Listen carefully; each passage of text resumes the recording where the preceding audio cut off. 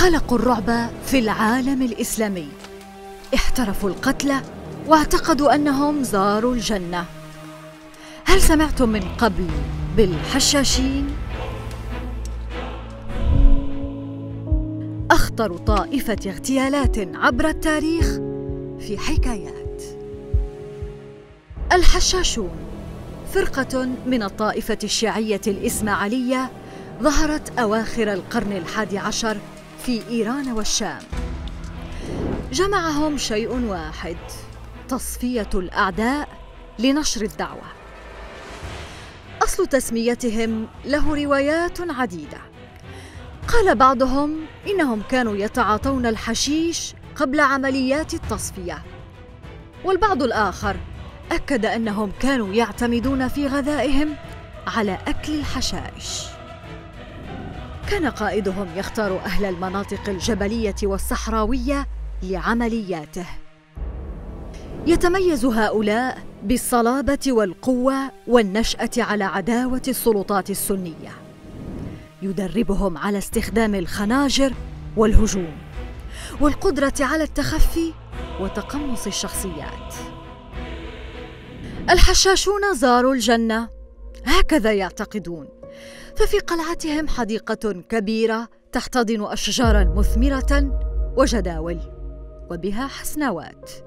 أوهم القائد أتباعه أنها الجنة وأمرهم باتباع أوامره. بعد إعدادهم كان يشرح لهم الخطة. في الغالب تحدث عمليات التصفية في أماكن عامة في السوق في الجامع ضمن موكب عظيم. أو في مقر الحكم أحيانا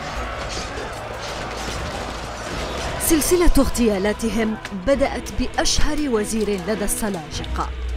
ثم قتلوا بعده ملك القدس وأمير الموصل وقاضي أصفهان ثم خليفة من الفاطميين.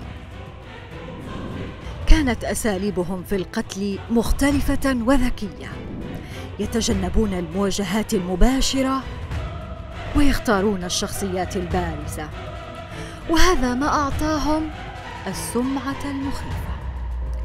في رسالة بعثها رسول لإمبراطور ألماني وصفهم قائلا لهم سيد يلقي أشد الرعب في قلوب كل الأمراء العرب القريبين والبعيدين على السواء وكذلك يخشاه كل الحكام المسيحيين لأن من عاداته أن يقتلهم بطريقة تدعو للدهشة. لكن لكل بداية نهاية. انتهى عهد الحشاشين على يد سلطان المماليك الظاهر بيبرس عندما استولى على قلاعهم واحدة تلو الأخرى وأمر بقتلهم جميعا. لينهي بذلك حكاية أكثر الطوائف دموية في التاريخ الإسلامي.